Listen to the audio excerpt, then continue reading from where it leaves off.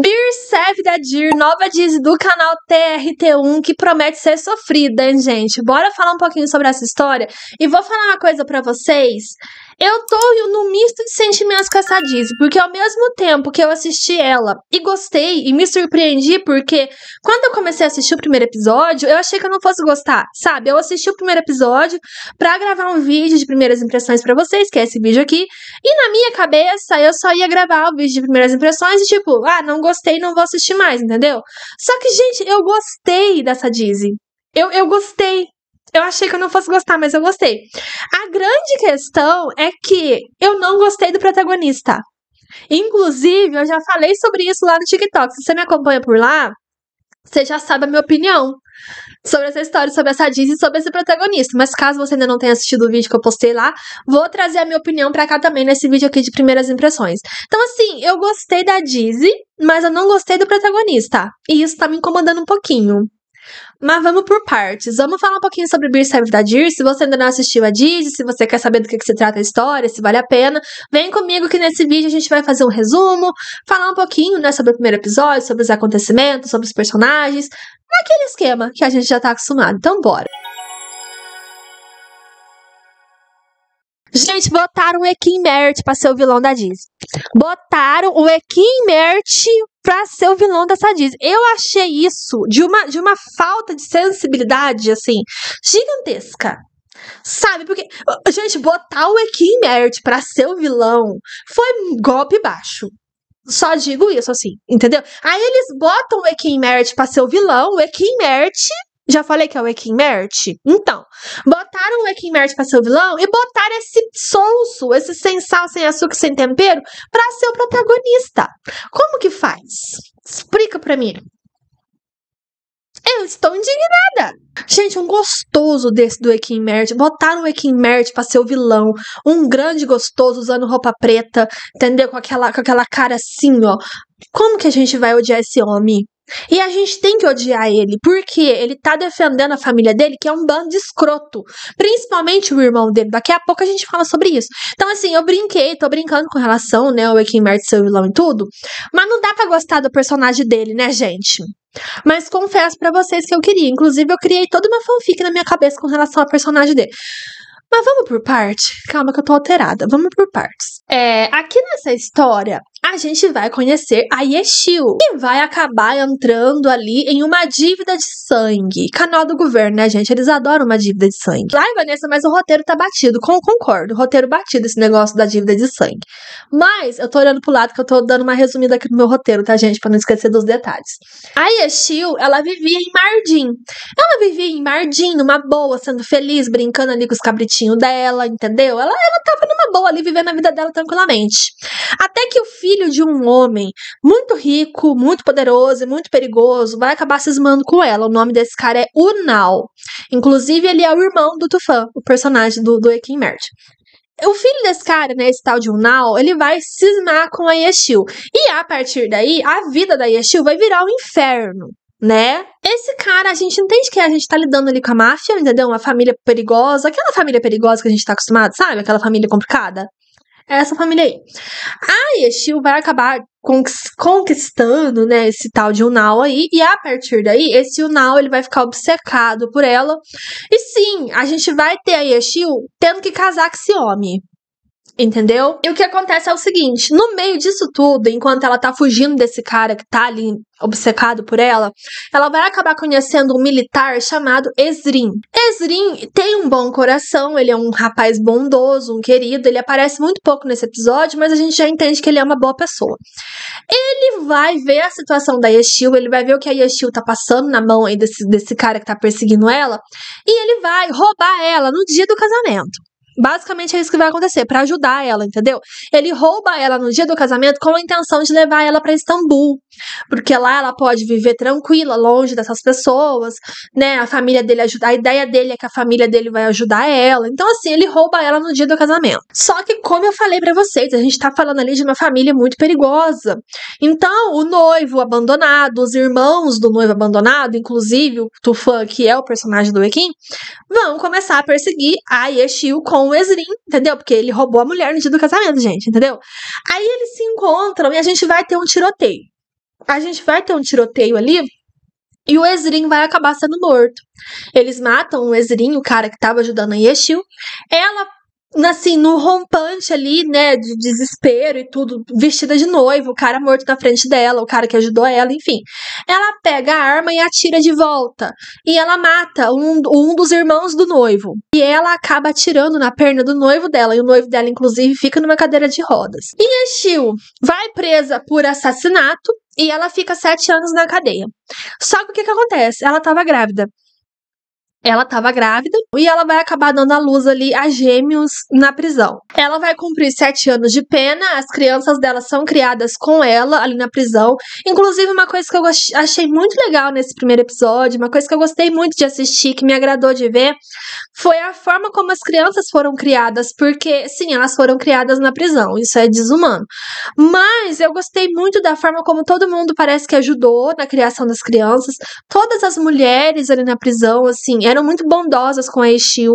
Inclusive, as, as, as, as polici não são policiais, né? As carcereiras, carcereiras que falam. Enfim, todo mundo que tava ali convivendo ao redor da Yeshil ajudou ela de alguma forma. Eu achei isso lindo. Inclusive, né, ela fica sete anos, ela é liberada. Ela cumpre a pena dela e é solta. E uma coisa que eu achei incrível é que todas as mulheres ali da prisão se uniram para guardar dinheiro e deram esse dinheiro para ela. Gente, eu achei lindo. Nossa, eu achei muito linda essa parte dela, sabe? Ali na prisão com as mulheres, assim. Foi bem bonito de ver. Ela vai ser solta com as crianças dela ali, né? Sete anos depois. E o Tufan já vai estar tá lá na porta da prisão esperando para matar ela, para vingar o irmão dela. Porque a dinâmica ali é essa, entendeu? Envolvendo a família do Tufan. Ela matou um, do, um dos irmãos, deixou o noivo na cadeira de rodas.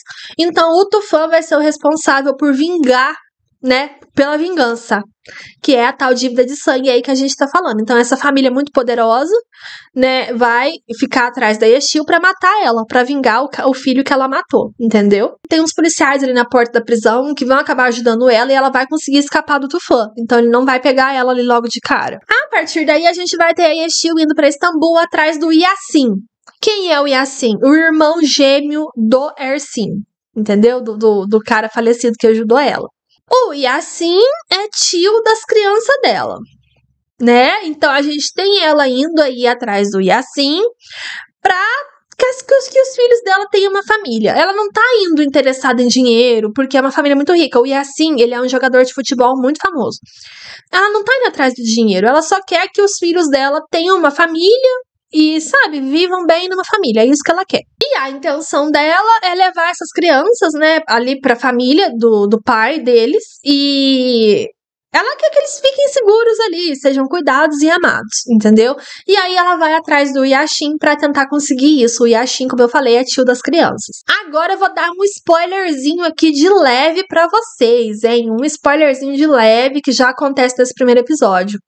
Gente, as crianças não são filhas do Ersim, tá? As crianças não são filhas do, do, do, do militar, elas não são sobrinhas do Yassin. O Ersim, inclusive, é casado, né? o cara que ajudou ela, o militar, ele tinha uma esposa. Então, assim, ela mente para todo mundo que ela teve alguma coisa com ele e que os gêmeos são filhos dele, porque ela quer que as crianças fiquem protegidas, mas as crianças não são filhas dele. De quem que essas crianças são filhas?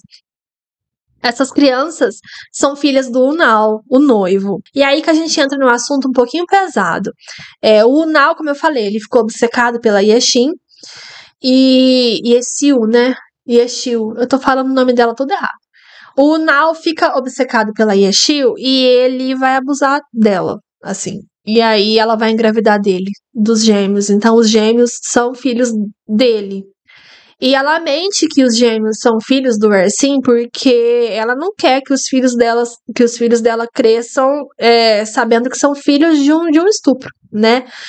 Hum, achei pesado. Enfim, as crianças não são filhas do Ersin. Esse foi o maior plot, inclusive, desse primeiro episódio, que eu tava jurando que elas eram filhas dele realmente. A Yeshin e o Ersin, assim, eles só se aproximaram como amigos. Ele viu o que ela tava passando, ele ajudou ela, e aí ela mente, né, que ele é o pai dos filhos dela para tentar proteger mesmo as crianças. Mas não é isso, né? Não, ele, ele não é o pai. Vamos falar do Yashin, que é supostamente o parzinho romântico da Yeshil, tá? O irmão, suposto tio das crianças, que não é tio coisa nenhuma. Como eu falei pra vocês, ele é um jogador de futebol muito famoso, assim, enfim, ele é famosérrimo mesmo, assim, todo mundo gosta dele, ele é o, o, o camisa 10 ali do time dele. Só que, gente, com base nesse primeiro episódio, eu achei esse personagem insuportável. De chato, assim. Ele é muito chato, sem sal, sem açúcar, sem tempero nenhum. É, a gente não teve nenhum tipo de romance, nenhum indício de romance entre ele e a Yashio ainda. Inclusive, os dois se odeiam. Mas uma coisa já ficou muito clara: eles têm a química de duas portas. Eles têm zero química, gente, o casal protagonista, assim. Eles são o casal protagonista porque eles estão no pôster. Então eu acredito que eles sejam o casal protagonista, mas não dá. Nossa, o cara é muito chato, muito sem sal. Não dá.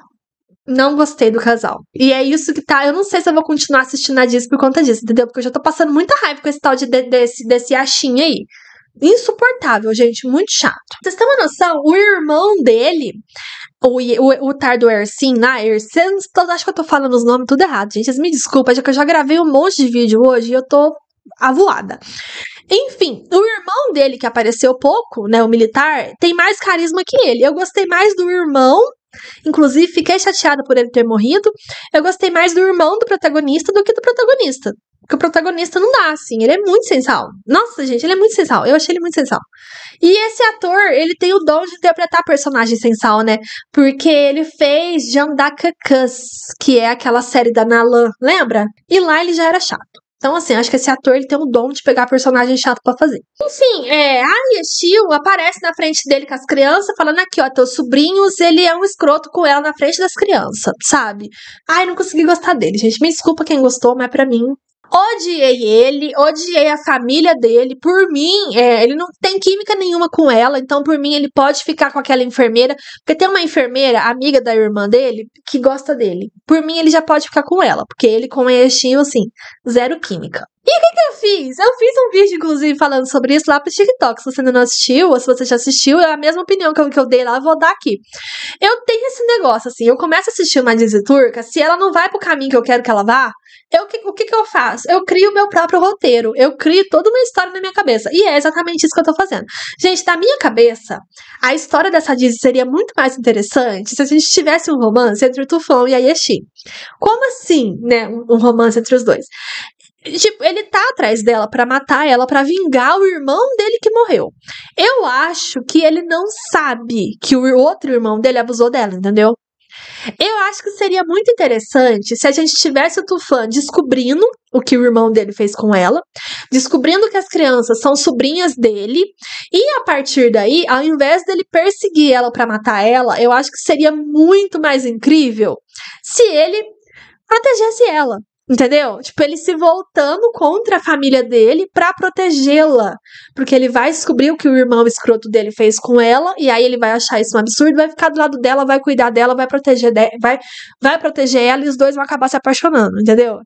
Esse para mim seria o plot perfeito. E o Yashin, o Yassil, sei lá o nome desse cara, que fique com a enfermeira lá dele, entendeu? Sem sal, sem açúcar, ninguém pediu ele, ele que fique com a enfermeira. Mas a Yashio e o Tufan formariam um baita casal. Eu acho que seria muito interessante ele se voltando contra a família dele e ao invés de matar ela, ele começasse a proteger ela da família dele, entendeu?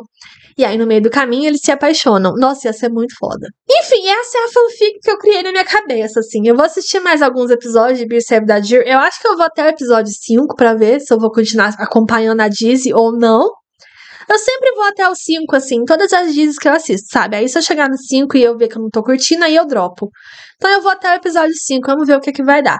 Mas à primeira vista, não gostei do Yasil, o protagonista, achei ele insuportável. Gostei mais do Tufan, queria o Tufan protegendo a Yashin e não tentando matar ela. E é isso, vocês estão acompanhando o Beer Serve da Dir? Contem pra mim nos comentários o que vocês estão achando, se vocês estão gostando ou não. Me acompanha lá no TikTok, a Vanessa comenta com dois As no final. Lá eu tô comentando bastante de Ziturca também. E é isso, espero que vocês tenham gostado do vídeo. Um big beijo e até a próxima. Tchau!